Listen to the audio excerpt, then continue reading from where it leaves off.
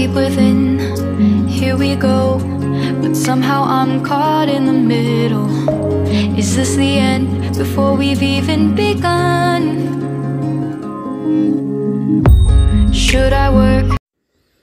बसमीम अल्लाम कैसे हैं आप सब लोग? मैं उम्मीद करती हूँ सब बिल्कुल ठीक होंगे। सबको मेरी तरफ़ से बहुत बहुत ईद मुबारक। मैंने कोई स्टेटस वगैरह, कोई जो है वो स्टोरी अपलोड नहीं की, कोई कम्युनिटी पोस्ट नहीं लगाया ना इंस्टा पे, ना यूट्यूब पे। मैं इतनी बिज़ी थी, ये मैं कुछ नहीं कर सकती। मैंने कहा डायरेक्ट जो है वो ईद का जो है ब्लॉग ही अपलोड करेंगे इन तो बस जल्दी से इसका वॉइस ओवर करने बैठी हूँ, जल्दी से एडिटिंग करके आप लोगों के साथ। तो कैसे गुजर रही है भाई आप लोग की ईद? मेरा तो फ़र्स्ट डे अलहमदिल्ला बहुत अच्छा गुजरा हमारा, माशाल्लाह। से मैं हमेशा से फ़र्स्ट डे अपने ससुराल जाती हूँ और यहाँ पे जो है हम लोग अपनी ईद इंजॉय करते हैं और ये जो है ना मेरा ईद के फ़र्स्ट डे जो है हम लोग ज़्यादा मैंने बहुत गर्मी है भाई कराची में, मैंने इतने हैवी हैवी कपड़े नहीं बनाए, मुझसे नहीं वेयर किए जाते। तो एक सूट मेरा थोड़ा सा हैवी और एक जो है थोड़ा सा कम हैवी था तो आज गर्मी ज़्यादा थी तो मैंने यही वेयर करा। और ये जो है बच्चा पार्टी फुल इन्जॉय कर रहे हैं। हम लोग यहाँ आ चुके थे, खाना लग रहा था जल्दी जल्दी मैंने आप लोगों को दिखा दिया कि खाना जो है वो लगने वाला है। क्योंकि जो है हम लोगों को भूख भी बहुत लग रही थी, हमें आने में भी लेट हो गए थे और बस उसके बाद हम लोगों ने अपना खाना इन्जॉय किया। ईद पे तो सब यही यार पूरे दिन रमज़ान की इतनी थकन हुई हुई होती है कि ईद पे जो है ना सब देर देर से सो के उठ होते हैं। कुछ लोग, किसी के घर बहुत जल्दी सब उठ जाते हैं, किसी के देर, घर जो है वो देर से उठते हैं। तो ऐसा नहीं था कि हम लोग देर से उठे थे, हम लोग थोड़ा सा बस ऐसे ही ग्यारह बजे तक मैं उठ गई थी। फिर उसके बाद बच्चों की तैयारी करते करते मैं दो तीन बजे तक यहाँ पहुँच गई थी, वरना तो मैं जल्दी चली जाती हूँ, लेकिन इस दफ़ा थोड़ा लेट हो गया। क्योंकि जो है वो बस रमज़ान के रूटीन इस तरह से बना हुआ होता है यार कि बस वो जब रमज़ान जाते तो मुझे दुख भी बहुत हो रहा होता है, बस कि बस ईद की खुशी हो रही होती है, लेकिन रमज़ान का दुख हो रहा होता है। और लेकिन जो है बस इन खैरियत भरी, खुशियों भरी ईद और अगले रमज़ान हम लोगों को नसीब हो। यहाँ जो है हम लोग अपना लंच इन्जॉय करने बैठ गए हैं। लंच में मेरे मियाँ वीडियो बना रहे हैं क्योंकि मैं तो बच्चों को कहलाने में बिज़ी थी। तो यहाँ मेरे ससुराल में जो है ना वो कलेजी बनती है। मस्ट है कलेजी बनना तो बस ये जो है मैं तो खाती नहीं हूँ, लेकिन मेरे हस्बैंड जो है वो ये लोग सब शौक से खाते हैं तो ये जो है इसी की वीडियो मैं जो हूँ ना वो दरअसल जो ये मीठी चीज़ें होती हैं ना जिसमें गोश्त वगैरह के आइटम्स होते हैं ये मैं थोड़ा कम ही खाती हूँ शौक से। मुझे जो है वो सारी दालें और सब्ज़ियाँ वगैरह ज़्यादा पसंद है।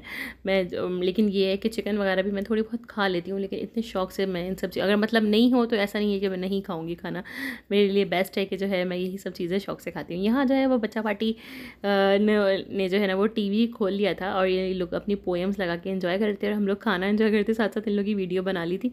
थोड़ी सी और ये डांस हो रहा है, लेकिन मैंने जो है ना वो टीवी वगैरह नहीं शो किया क्योंकि भाई पहले भी मेरे ऊपर स्ट्राइक आ चुकी है। इससे वजह से मुझे बहुत ज़्यादा मुश्किल का सामना करना पड़ा है। इस वजह से मैंने इस वक्त अपने मियाँ से कहा कि प्लीज़ टी वी मत दिखाएगा कि किस पोएम पर ये लोग डांस कर रहे हैं या जो है क्या ये लोग कर रहे हैं। तो फिर इसलिए जो है ना वो हम लोगों ने हटा दिया।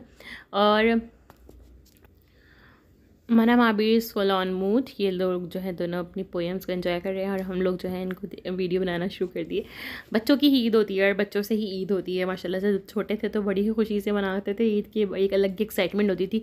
रात भर मैं तो सोती नहीं थी कि भाई और अपने कपड़े बराबर में रख के शूज़ वूज़ सब कुछ ना, कि जो है सुबह ईद है, सुबह ईद है भाई।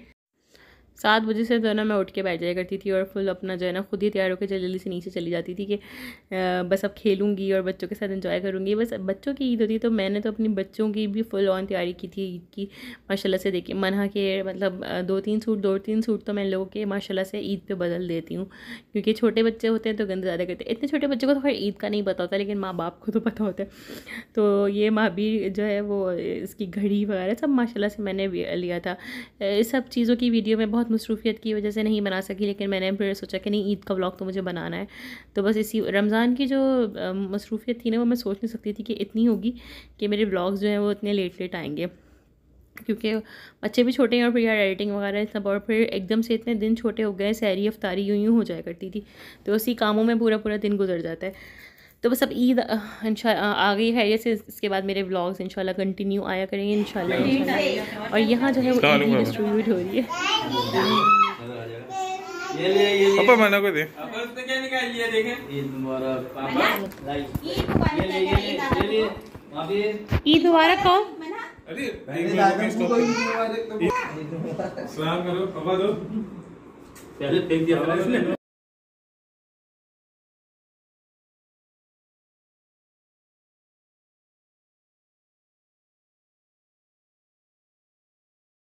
ये?